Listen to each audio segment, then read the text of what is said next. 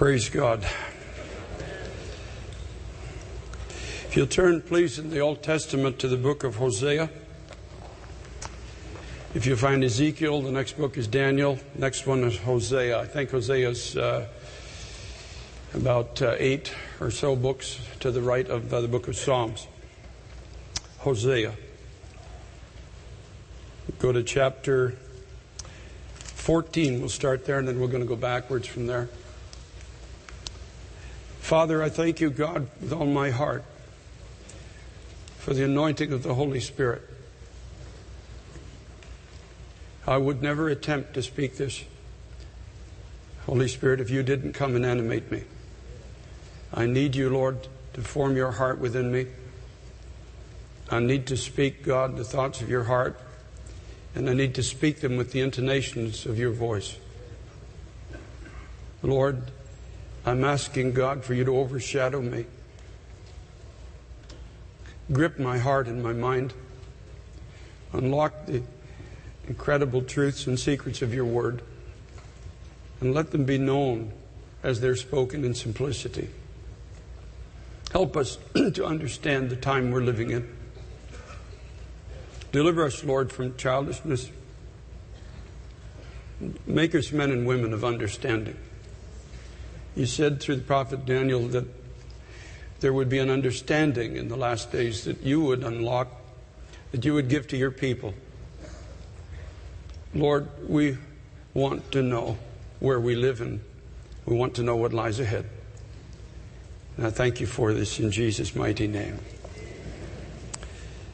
I've entitled this A Message for America and Its Cultural Religion. You know, beloved, we're going to be in the we're going to be in the streets of New York at Times Square on September the 20th. There seems to be a recognition in many people throughout the world that this is a momentous time, although many people may not fully understand why. Hundreds of churches coming together, other countries, entire congregations, many, I think there's as many as 76 now, are going to be gathering together They're going to be screening this event live. They're going to be praying with us. But you and I need to pray with an understanding. A lot of prayer events in the past are just simply they're gatherings, and, and prayer is a good thing, and I'm not ever downplaying that. But this is not a carnival. This is not a gathering together to shout into the air and wave a few flags and walk away saying God has changed the world. No, this is much deeper than that. This is a call of the Holy Spirit gathering His people to a specific location. Outside, perhaps because there's no other venue where we would all get together. Over 300 churches are anticipated to be in attendance in Times Square in two weeks. For the specific purpose of coming to God and under the guidance of the Holy Spirit, praying this simple prayer Lord, forgive us but forgive us for what is the question.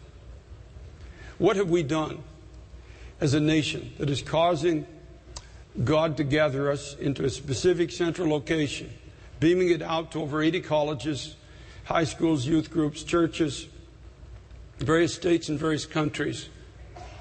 What, what have we done that the Lord would say, I want you to pray this way? Lord, forgive us. If we don't understand this, we're going to just go out with a generic Lord, forgive us for whatever. And we're not going to walk away having found something that God wants to give us as a people. He wants to do something very profound in you and in me. And I do believe in all those that are praying, but we need to have a right perspective. We need to understand some things. I want to ask you, in Christ's name, to bear with me through this message. The Lord wouldn't let me write this down. I tried a few times to write it down, and the more I tried to write it down, the harder it became. And he said, No, you've been fasting, you've been praying, you've been seeking. I want to speak now. I want to speak to my church, I want to speak to my people. Let's start in Hosea, please, chapter 14. Now, in order to understand this book of Scripture, we have to understand who Hosea was. He was a prophet sent of God to the northern kingdom, which was the numerically larger number of people after the kingdom of Israel split under the leadership of Rehoboam in the northern kingdom started on a progression of, of continual spiritual declension until eventually it was swallowed by Assyria, dissipated among the nations, and real, realistically ceased to exist. And Hosea is a man who's he he, had a, a wife that was not faithful. And because of this, he understood the heart of God. He, he understood where this nation was going. And God sent this man to plead for them to turn back again. And the one voice that a society in spiritual declension will not listen to repeatedly is the voice of the prophet. You see it all the way through scriptures. When God sends the voice of the prophet, they technically usually will put them in a dungeon, will mock the prophet of God, will send them away into another place, will push that voice completely away. The, one of the kings in the Old Testament tore up the words of Jeremiah and threw them in the fire. There's, there's something about a society that has come to a flashpoint of judgment. Really, that's what it is. When society has hit that point, when we've crossed the line, when we've, we've gone beyond the warnings of God, where, where we can't hear anymore, and I'm talking now collectively as a society, we can't hear anymore. The voice of the prophet will still be there because God will be faithful to warn. But sad to say, most of the nation will no longer be able to hear. I fear in my heart that in this society we've come to this point. We're long past it. The voice of the prophet is a mocked voice now, not maybe entertained for a little while, several years, maybe a decade or two back, but no longer listened to. Just considered another railer on the street corner with, with another viewpoint of the country and of God and of the future. How it must break the heart of the Lord when people that he loved, when people that he gathered from all over the world, people who longed for freedom, and they came and they were given in, in a certain land, as, as in Hosea's day. They were brought out of captivity and they were brought by the power of God into a nation. And in that nation, they were given freedom to worship. And they were warned in that nation that you must turn away from the gods of the people who have previously occupied these places. Because if you don't, if you don't make a clear break from them, you're going to find you're going to eventually go in that direction. And the gods of the nation are going to so interweave themselves with the worship of the Lord Jehovah, as it was in the Old Testament, that eventually it'll no longer be discernible that it really is God. There'll be such a mixture in it. And that mixture will produce a powerlessness and a blindness, and a mysterious inner blindness that even though the clouds of judgment may be right on the horizon, the people will be still talking about wonderful days ahead. In the house of God, they'll be talking about increased and never ending prosperity. Not aware. Think about Belshazzar for a moment. Took the holy things of God and partied with them in, in Babylon. And Daniel stood before Belshazzar and he said, Belshazzar, you knew, you knew the history. You knew that God judges, even in your own house. He said, your own father was, came under judgment because he played with the holy things of God. He said, Belshazzar, you should have known. You've taken the holy things of the temple and you've made a party out of it. And you've, you've sat there and you've drank to the gods of gold and silver and stone and wood things made with men's hands. And Daniel stood there and said, Now, Belshazzar, the Lord has numbered your kingdom and he's finished it. It's over. But such a blindness was upon that particular generation that even though the word of God was pronouncing the end of this kingdom that seemingly had ruled the world for many, many years, and even though there's a pronouncement that it's over, Belshazzar commands them and says, Come to Daniel, put fine robes on him, put a gold chain around about his neck and make him third ruler in the kingdom. The spiritual blindness, I don't know if there's a, an, a, an evidence or indication of greater ignorance than that. When people are standing in the presence of the living and the holy God and unaware of the precarious situation that they're in. The Lord wants us going into the street with understanding. We have to know the hour that we're in. We're not children that are just looking for a good time We have to understand this is a perilous moment. We have to know that, as Jesus said in Matthew chapter 24, that people will be preoccupied in the last days just prior to the coming of Christ with buying and selling and marrying and giving in marriage.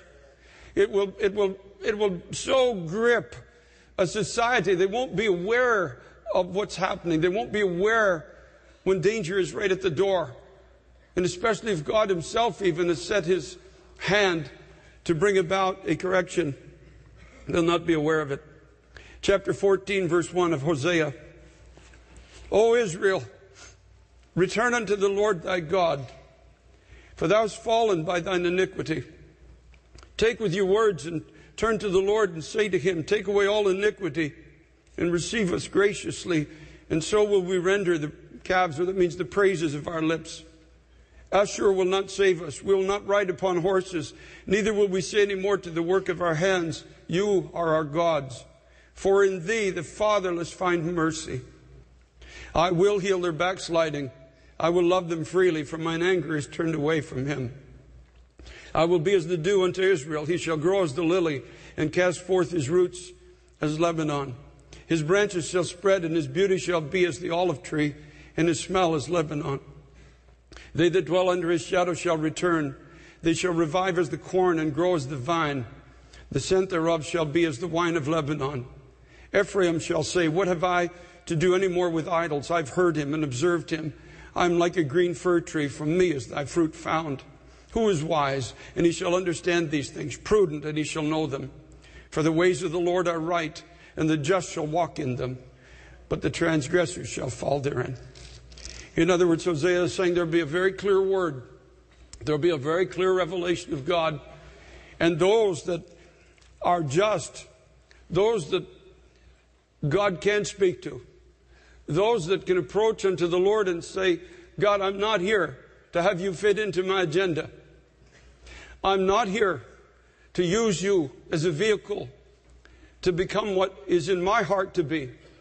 But God, I'm here for the sole purpose of yielding my life to you and to say, God, forgive me for everything I've embraced, for everywhere I go, for everything I do that is not representing you among men in this generation. I yield to you, Lord. I yield to your purposes. And the scripture tells us very clearly that those who choose to walk this way will return, they will revive, they will grow. There will be a sweet savor of Christ flowing through them in these last hours of time. They will cast away their idols. They will come to Christ and they will find him to be a green tree abounding in fruit. The glory of the Lord will be the portion of his people in this last hour of time. I know it with all my heart. I know it as surely as I stand here. The glory of the Lord. And it will not be circumstance dependent. It won't really matter if a thousand are falling at this side and ten thousand on that side. It won't really matter if the trumpet is blowing and all kinds of alarms are being raised in the nation. No, God will have a people. Their eyes will be fixed on the ways and the works of God. Their hearts will be gripped by the passion and the power of God. Their steps will be ordered in the work of God. Their hands will be about the tenderness of God. Their voices will be directing those that are terrified to where the power and the provision of God is found. Oh yes, oh yes, my friend. God will have a people in the earth. Praise be to God, praise be to God, praise be to God. He will have a people in the earth. We ought not to be afraid to say, Lord, help us, cause us to return to you. Forgive us, Lord, where we've failed you.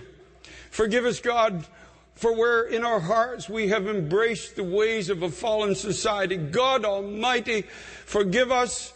I'm going to be among the chiefest of those there crying out to the Lord, say, God, forgive me. Lord, for the things I see, for the things I don't see, for what I know, for what I don't know. I am part of the Church of Jesus Christ. I'm part of this testimony that you wanted established in the earth in this generation. And God Almighty, I'm asking you to get out of my heart everything, Lord, that has stood in the way of your life. Everything, God, that hinders your the expression of your heart through this human vessel to this generation. Everything, God, that renders the testimony of your resurrection power powerless coming out of this human vessel. God, please, Lord, take these things out of my life. God, give me the courage of Daniel to open my window and face, Lord, face God, the failings of your people and, and face God, what we've done and, and face who we've become and unashamedly turn to you, Lord, and say, God, I'm coming to you today because you're a God of mercy. Lord, when you established the temple, you wrote a song about yourself, and that song said, Praise the Lord, for he is good and his mercy endures forever. So, Lord, I'm coming to your mercy today. I'm coming, God, believing, Lord, that you are the God who can restore. You're the God who can heal. Lord, you're the God who will have a testimony in spite of what happens to the nations. Now, go to chapter 13, please. Hosea is speaking about what happened to the testimony of Israel. Why was God going to judge his own people? Why would God bring a people out of bondage and into a nation, call it by his name, and then judge it?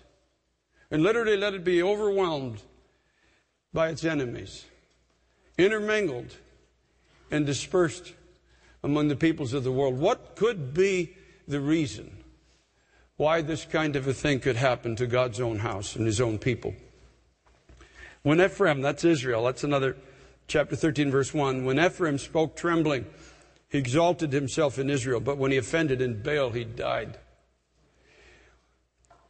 When my people honored me, when there was conviction in my house, I believe there, America has not had a perfect religion. All you have to do is look back in history a hundred years and you can see the glaring inconsistencies. But there has been an underlying seeking of God. There, there have been times in society where there have been great moves of God, when people could be confronted, when they could be turned back, when, when the voice of God could be lifted in his house and there was a trembling. There was an awe, there was a reverence of God. There was a sense of God's holiness. Men had enough sense to know that God's ways were right and men's ways were wrong. And there was a time in this country when I'm sure you would walk in the house of the Lord, and if you were living in willful sin, you would tremble. You would tremble. Preachers preach. Now, they may not have always had it right. They may have been a little heavy on the legal side, or they, they may have focused a little too much on certain things, but there was a trembling. There was a time in this country when you walked in the house of God and you knew if you were living in sin, you were going to be confronted. There was a time when sinners were not comfortable in the presence of God. There was a trembling. There was a word. There was a time when old fashioned preachers left the plow. They didn't have much education, but they went in the prayer closet and God touched them and they stood in pulpits. And when they stood in pulpits, the glory of God came. They didn't, they massacred the King's English half the time and they didn't even know how to pronounce things in the Bible, but they knew who God was and they knew who men were and they could speak into the heart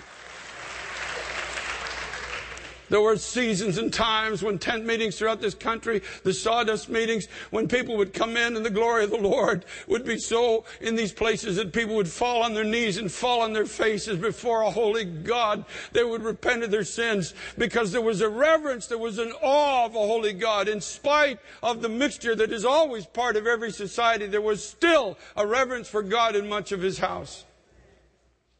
When Ephraim spoke trembling, exalted himself, when, when there was this awe, when there was this reverence of God, the church, the testimony of the church was held in esteem in the nation. But when he offended in Baal, now Baal was the Canaanite god of the surrounding territories. Baal is the God that people without God worship.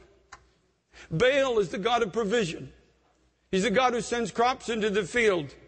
He's the God who fills your cupboard. And as long as the cupboard was full, then people would, could worship Baal. When we worshiped God, there was a trembling in his house. But folks, America has made a tragic mistake. The worship of Baal has come into the house of the Lord. And the God of prosperity has become the God that much of the church of this age, which is a cultural church, in a sense, it's, it's, it's in the culture, that, that part of the country that's without God to worship prosperity. And as long as the church stood as a contrast to this, Not to say that God's people should be poor, but the prosperity that God gives should have a proper focus. In the allevi- alleviation of the suffering of the poor, in the, in the relieving the oppressed, and, and using the resources of God to bring the kingdom of God to those who have no helper. But it all changed, and suddenly it became about us. It became about individual people. And when this came into the house of the Lord, the testimony of God died. Died, folks. The testimony of God is almost dead in this country. Just because 50,000 people attend some church somewhere does not mean that God is even there any longer. If there is no conviction of sin, if there is no burden to let go of the things of this world and to walk with the Holy God, I'm telling you the Holy Spirit is not there. I don't care how many people attend. I don't care how fancy it is. I don't care how much money it has. It, God is not there when there's no conviction of sin. When sinners come in and they're not challenged to turn from all of the pursuits of the natural life and heart, the Lord has left the place. And now he says they sin more and more, verse 2, and have made them molten images of their silver and idols according to their own understanding. All the work of craftsmen. And they say that let, it, let the men that sacrifice kiss the calves. In other words, now it's all the work of craftsmen. Have you noticed much of American religion today is always crafting some new image of God? Always crafting, always fashioning always looking for some new thing because they've really abandoned the cross. And they say to the people constantly, they're not called men of God. They're not holy men of God. They're not, they're not separated men of God. They're not men who challenge the people of their behavior and their lifestyle. No, they just fashion these constant images that are palatable to the masses. And they say, come now, worship this. The brand new image of God. And let's call him Jesus. Let's worship Him. Never confronts your sin. Doesn't require holiness of you. Doesn't require that you take up your cross and follow Him. Will prosper you. Will give you a great destiny. Will make you into an important person and etc. etc. Verse 3 says, Therefore shall they be as the morning cloud, and as the early dew that passes away, and the chaff that's driven with the whirlwind out of the floor, and as the smoke out of the chimney. When difficulty comes. And folks, we're heading into some incredibly stormy waters. People will run to them because they've promised the drink of God as it is, but the clouds will have passed away. They promise wait or weightiness, but adversity will drive them out of the house of God. They promise the fire of God, but there's just no more than smoke coming out of a chimney, driven by the wind, and will be dissipated. I see much of what calls itself the Church of Jesus Christ in this country will be soon driven to the wind by adversity. Amen. He said in verse 4, Yet I'm the Lord your God from the land of Egypt. You shall know no God but me, for there's no Savior beside me. I knew you in the wilderness, in the land of great drought. How it must break the heart of God. How it must break his heart. All the people that came to this country. So many were persecuted. A lot of people were persecuted in their own lands because if they wanted to believe in God and walk with God. And he says, I saw you in the wilderness, in the place of great drought, and I brought you here. And verse 6 says, According to their pasture they were filled, and their heart was exalted and they've forgotten me. I brought you to this place where you were free to pursue life and liberty and happiness. You were free to worship me, and I blessed you here, but you forgot me. What a tragedy to be living at such a time. What a heartbreak. Therefore, I'll be unto them as a lion and as a leopard by the way I'll observe them. I'll meet them as a bear that is bereaved of her whelps and will rend the caul of their heart and there will I devour them like a lion, and the wild beast shall tear them. Oh, Israel, you've destroyed yourself, but in me is your help. The Lord says, I'll come to you like a bear that has lost her greatest treasure. The Lord doesn't judge because there's any delight in his heart. But he looks down and he sees what was supposed to be his heritage and says, I can't let this go on any longer.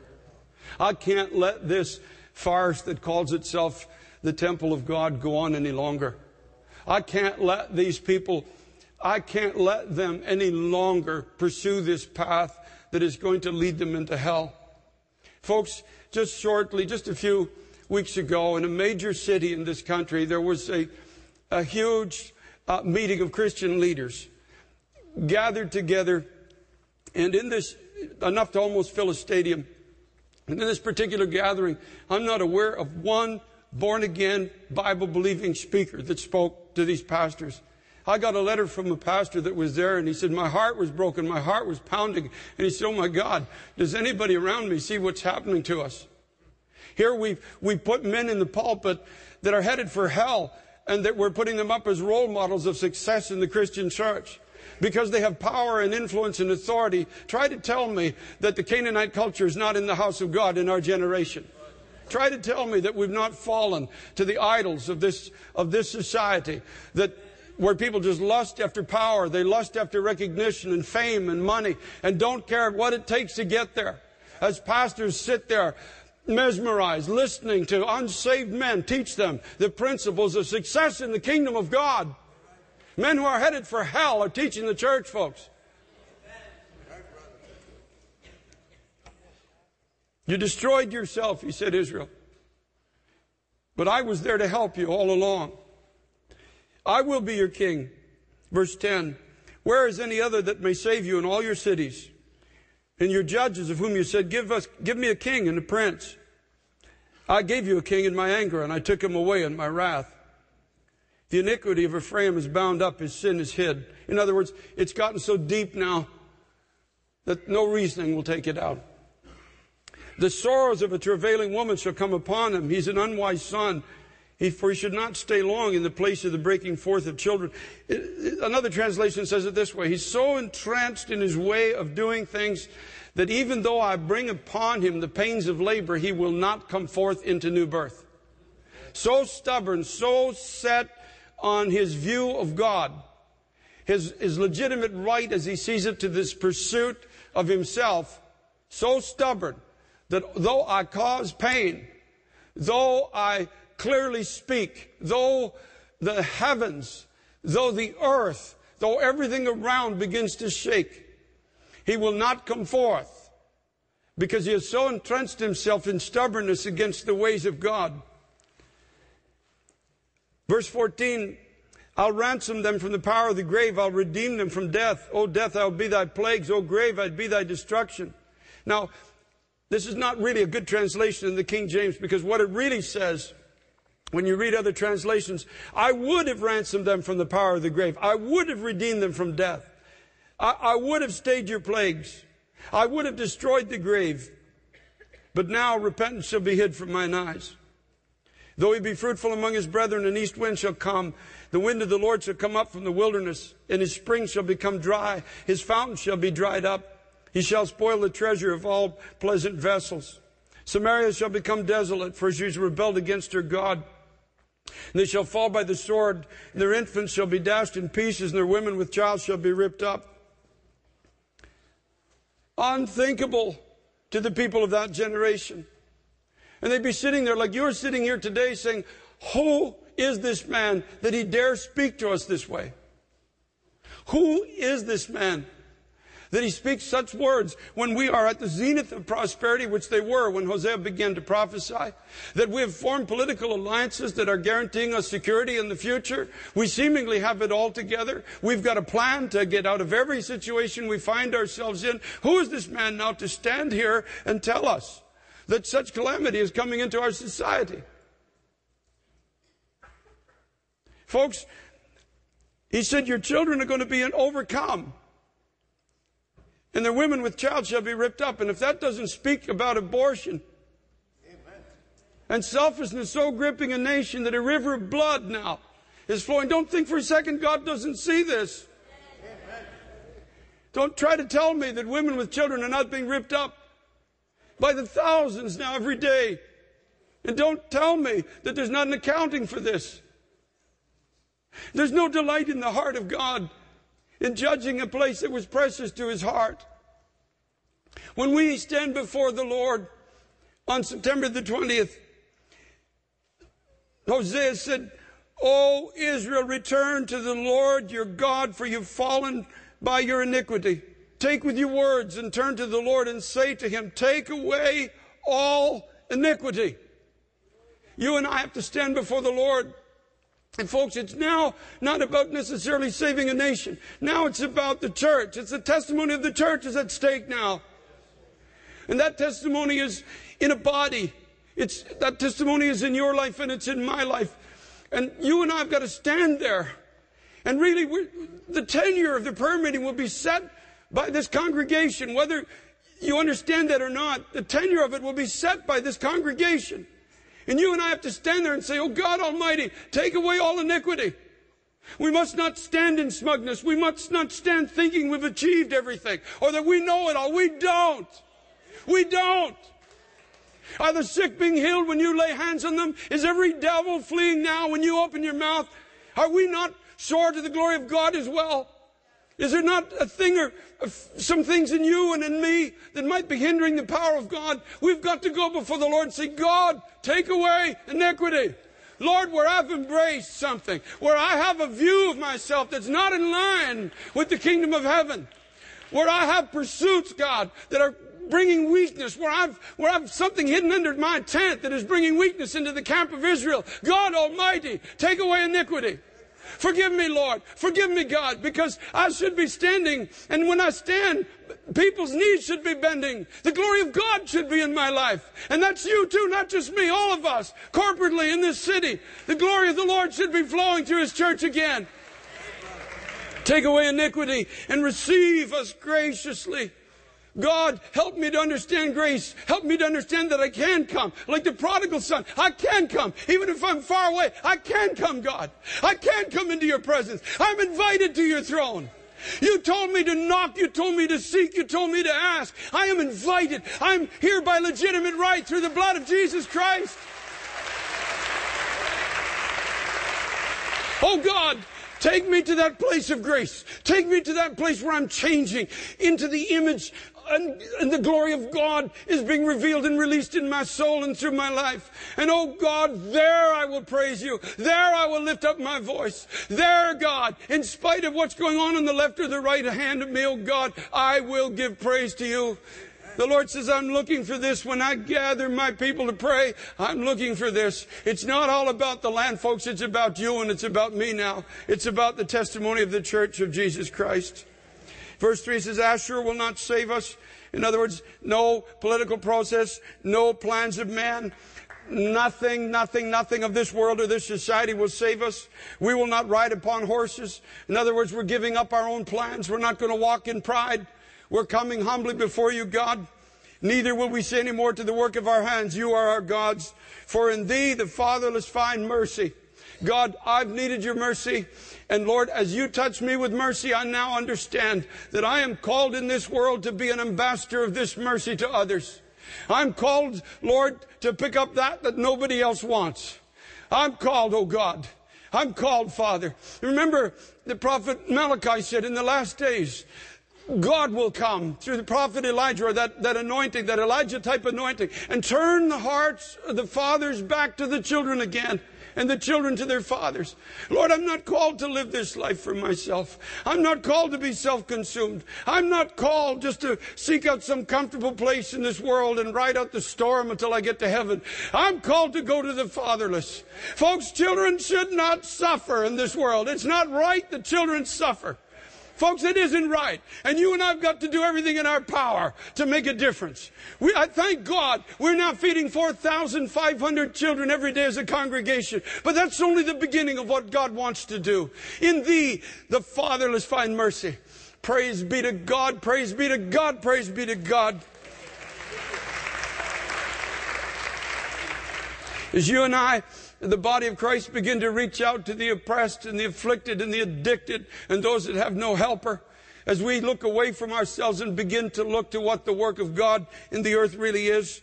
He says, I'll heal their backsliding. That's God's part. My part is to come and say, God, forgive me. God's part is says, I'll heal their backsliding. I will love them freely and my anger will be turned away from him. I'll be as the dew to Israel, and he will grow as the lily and cast forth his roots as Lebanon. The Lord says the beauty of Christ will be upon you. Your roots will go down deep, and in spite of whatever storm comes to this nation, you will be able to stand as the trees of righteousness, the planting of the Lord, that he might be glorified. His branches will spread, and his beauty shall be as the olive tree, and his smell as Lebanon. They that dwell under the sh- his shadow shall return. They shall revive as the corn and grow as the vine, and the scent thereof shall be as the wine of Lebanon. The Lord says, I'll put, I'll put the scent of my presence upon you. Praise be to God. Praise be to God. Folks, you understand today it's about the church now. It's, it's about the church now. It's about the testimony of Christ. All else may fail, but the testimony of Christ cannot be shaken. Only that which cannot be shaken, the scripture says, is going to remain. Ephraim shall say, What have I to do any more with idols? I've heard him. I've observed him. I am like a green fir tree. From me is thy fruit found. No more. No more living apart from God. No more embracing my own homemade concept of God. I'm going to follow the Christ of the Scriptures. I'm going to allow Him to speak to my heart, and I'm going to enter into His work in the earth. He says to this bride, I'm, I'm like a green fruit, uh, fir tree, and from me is thy fruit found. Who is wise? And he shall understand these things, prudent, and he shall know them. For the ways of the Lord are right, and the just shall walk in them.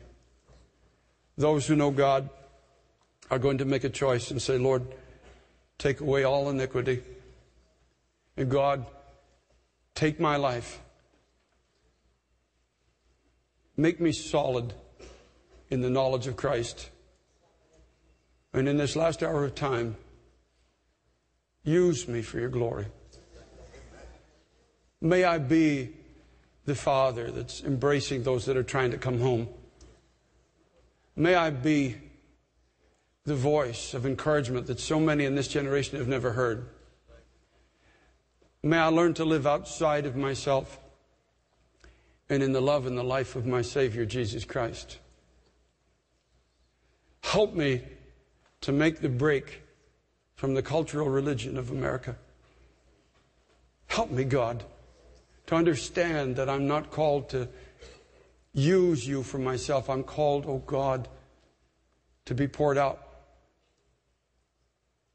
for you for the sake of others. The ways of the Lord are right, and the just shall walk in them. But transgressors will fall there. Those who try to press into God, and I don't care how long they pray, it makes no difference if they put a million in the street. You could put 30 million people in the street, but if we're not willing to walk in the ways of God, David the psalmist said it this way If I regard iniquity in my heart, the Lord will not hear me. It'll just be a lot of noise out in public but the Lord will not hear it. But if you and I are willing to walk in the ways of God, there's a great harvest to be won now. I'm not, I'm not suggesting that our prayer will save the nation, folks. But I am telling you that there's a great harvest, a wonderful harvest for God, an incredible opportunity to stand strong in a dark hour, an invitation to be partakers of a life that cannot be shaken and of a heart that is nothing of this world. To represent God and to walk with God in perhaps what will be one of the darkest hours of human history.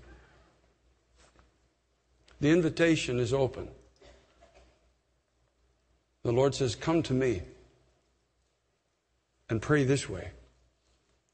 And if you do, I will come to you love you freely, give you strength, plant you deep. And there will be those who come and dwell under the shadow of my life that will be lived in and through yours. And Father, I thank you, God. You have enabled me to speak this. and I have delivered your heart.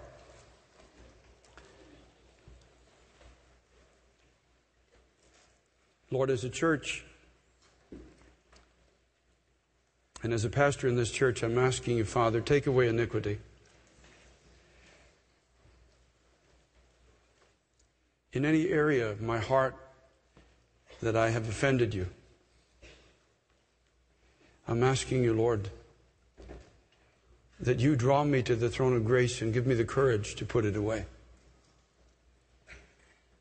Where I have fallen short of what you've called me to be, where I'm selfish, where I have not allowed you to do what you want to do in me, if I've held to something that you want to take away, forgive me. I'm asking God Almighty that when we stand in the street, that you could come, that you could say, This is my people. That as the prodigal son, you could run down the road and meet us and embrace us. That prayer meetings could be birthed all through the city. That pastors could be encouraged. That life could come. That you would break the bands of this culture of religion in America. Break it, God, off of your house. And let there be a testimony of truth in this last hour of time. Father, I thank you, God, with all my heart. Lord Jesus Christ, we are prepared now to come before you.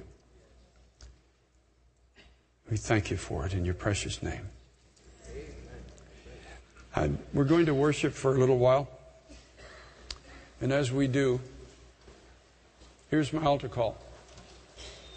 Please hear me in this. Everyone living in willful sin.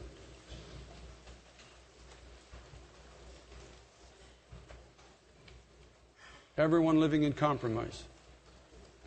Every person who can honestly say here today, I'm, I've only got half a heart to serve God. I'm willing to entertain the thought of God as long as it fits within my agenda, but I've never entertained going farther than what would make me comfortable. If you are willing, if you are willing to say, Oh God, deliver me from this iniquity. Forgive me, Lord. Why should the last day church finish different than the first day? Why should the early church be called to go out public and lay their lives on the line and we be a different? We be different in our generation. For those that are just willing, I'm going to the street on September the 20th with a cry in my heart God Almighty, forgive me. Forgive your people. If you're willing to see Second Chronicles 7:14 is not just a fanciful scripture we quote in a prayer meeting. If my people who are called by my name will humble themselves, pray, seek my face and turn from their wicked ways, then I will hear from heaven. Forgive their sin and heal their land. It starts with you, it starts with me. I will not be in the street with arrogance in my heart. If you're willing to join and be that kind of a person and come with that kind of prayer, then I invite you to this altar. Everyone who's got racism in their heart, you'd better put it away now. If you don't, it's going to, that's going to swallow you in the days ahead. You've been defenseless against the onslaught of darkness. You've got to put it away. And I know you've got all your list of grievances, but so does God against you. And He put yours away. So now you put your, your list of grievances away.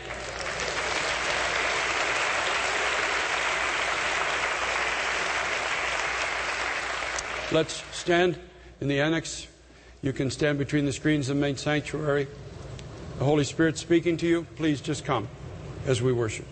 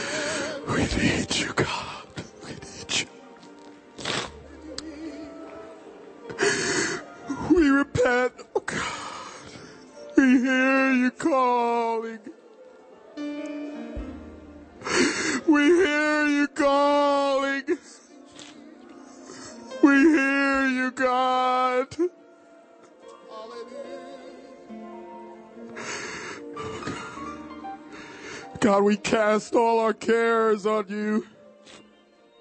Every concern, oh God, everything that has gripped our hearts, everything that has held us to this point, that has held back your glory from, Lord, our lives from flowing freely through us to this generation, to our families, to our neighbors, to our co-workers. Deliver us from carnality. Deliver us from worldliness. Deliver us from the intoxications of this age. We cry out to you, oh God. We cry out to you. God, we thank you for your mercy. Thank you that your mercies are new every morning.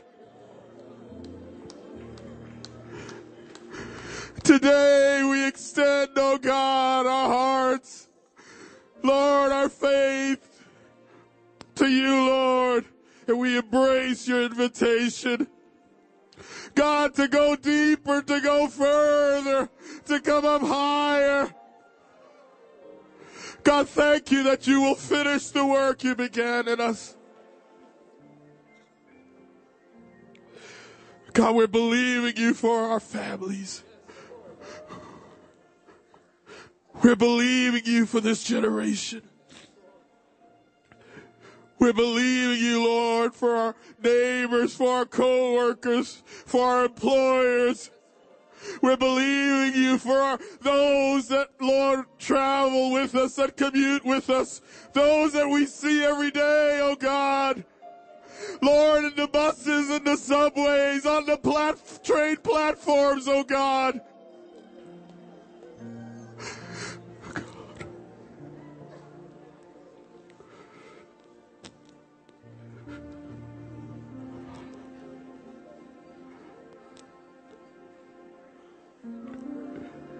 Flow through us now. Flow through us.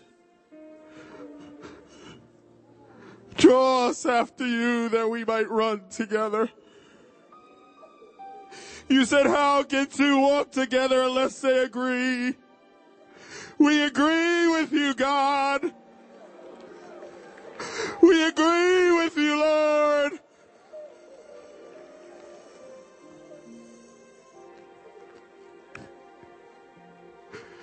We agree, oh God. Continue to break our hearts, Lord. God, that we would see the devastation around us. That we would willfully give our lives, lay down our rights, that you might be glorified. Be glorified, oh God.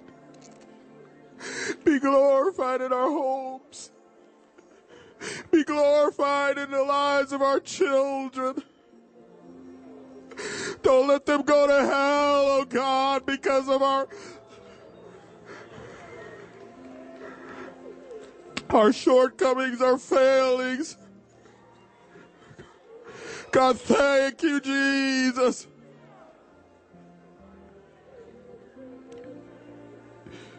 You won't let that happen, oh God.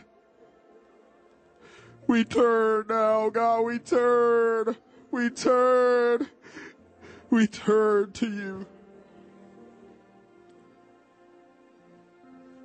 Hallelujah. Hallelujah.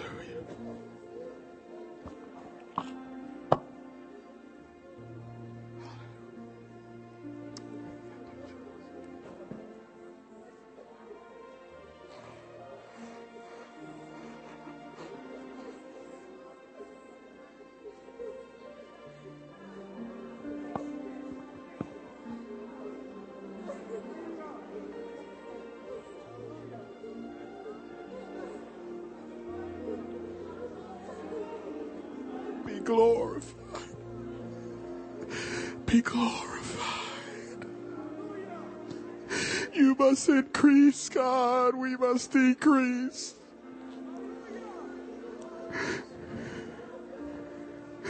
You come, you come, come and glorify your name in us. Come and glorify your name in our marriages, oh God. Glorify your name in our conversations. Let our lives praise you.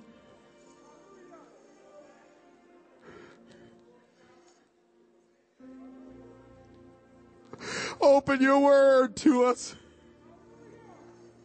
We would behold wondrous things. We want to be found sitting at your feet like Mary. Deliver us from being cumbered about, O oh God. With much to do, with nothing. Give us the treasures of heaven. Give us Jesus. We want more of you, God. More of you. God, we thank you now. We thank you now. We thank you now. We thank you. Begin to thank him. Begin to bless him. For faithful is he that calls you, and he will do it.